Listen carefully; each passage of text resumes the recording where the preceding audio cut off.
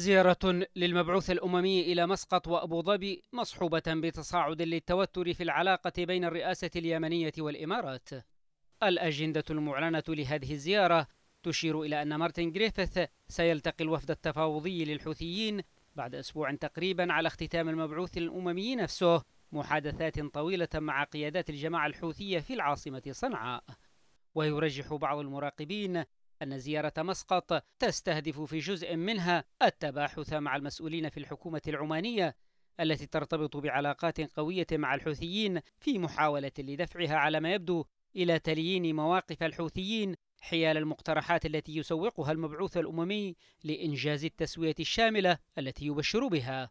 وفي أبو ظبي المحطة الرابعة في جولة المبعوث الأممي سيعقد جريفيث لقاءات مع ممثلين عن المؤتمر الشعبي العام والحراك الجنوبي. في إشارة واضحة إلى تشكل فريق سياسي موال للإمارات يرجح أن يخوض جولة مفاوضات قادمة في مواجهة الحوثيين. المبعوث الأممي كان قد أجل زيارته إلى عدن والمكلا لأسباب بعضها أمني وبعضها لوجستي.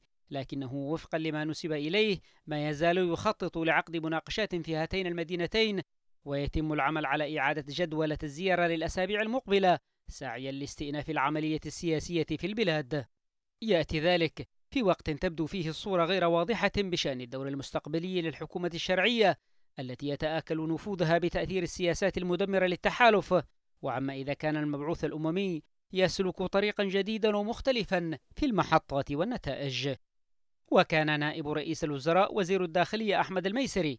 قد اتهم الإمارات في تصريح لإذاعة فرنسا الدولية بوضع فيتو على عودة الرئيس عبد رب منصور هادي إلى العاصمة المؤقتة عدن فيما وصف بأنه أول تصريح مباشر يسمي هذه الدولة معرقلا وصدر عن ثالث أرفع مسؤول في الحكومة اليمنية الشرعية. يتحرك المبعوث الأممي على حقل شائك رغم التغطية الإقليمية والدولية لمهمته خصوصا وأنها تزامنت مع وضوح الرؤية بشأن العلاقة المتوترة بين التحالف والسلطة الشرعية.